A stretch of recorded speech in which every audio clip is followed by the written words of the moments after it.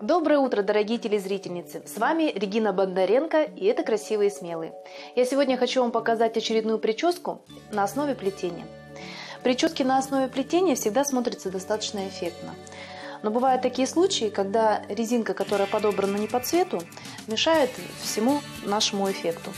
И сегодня я покажу, как тщательно спрятать эту резинку без особых усилий. Итак, начнем.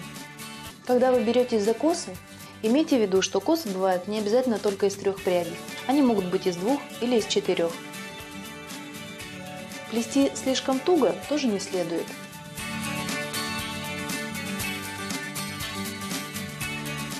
Гораздо лучше смотрится коса, которая слегка приподнята над кожей головы. Таким образом вы даете дополнительный объем. Ну что же, у нас с вами образовалась вот такая симпатичная коса. Затем одеваем резинку.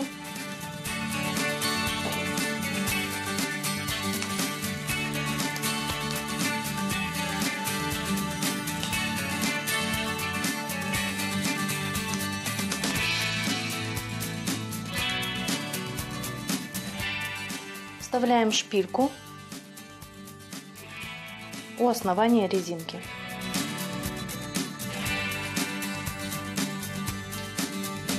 И затем самой длинной частью хвоста прокручиваем, перекрывая эту резинку. Затем кончик продеваем в шпильку. Для этого вы можете помочь себе с помощью расчески.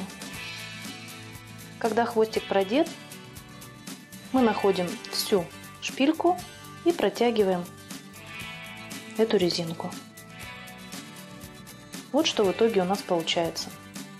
Такая коса будет смотреться гораздо эффектнее, и вы сможете пойти с такой прической даже на торжественные мероприятия.